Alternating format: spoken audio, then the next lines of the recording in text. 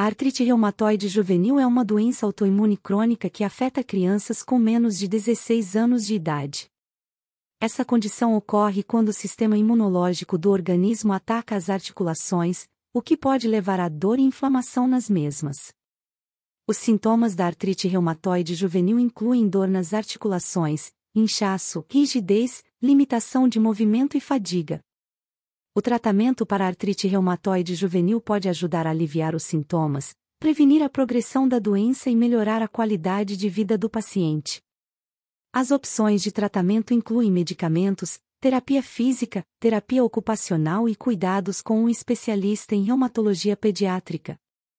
Se você gostou dessas informações, deixe seu like e comente a respeito do seu caso. Não se esqueça de se inscrever se não é inscrito ou inscrita no canal. Compartilhe o vídeo ou e segue nossas outras redes sociais que está abaixo na descrição do vídeo. Um grande abraço e fiquem todos com Deus.